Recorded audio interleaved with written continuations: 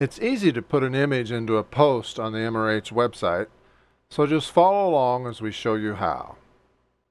We want to place an image here in our post.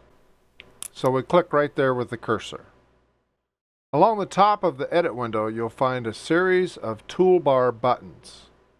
You can configure what toolbar buttons you see in your My Account profile. So your toolbar may look different than the one here but a lot of the buttons are the same. You want to find the Image button and click it. Up comes a dialog box for placing an image. Click the Upload tab. Then you want to click the Choose File button to pick the image you want off your computer. I picked this nice photo I took of the Winchester Bridge with my new Canon 40D. And I click Open. Next, I click the Send to Server button. Be patient. It can take 10 to 20 seconds or more to upload the image. I'm waiting, I'm waiting.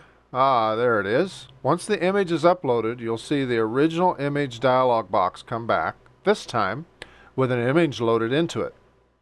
Notice my image is 1600 pixels wide, which is too large. Our website will clip any images larger than 800 pixels.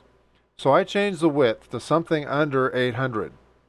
780 pixels sounds good. Notice the height is automatically changed for you to keep the image proportions correct.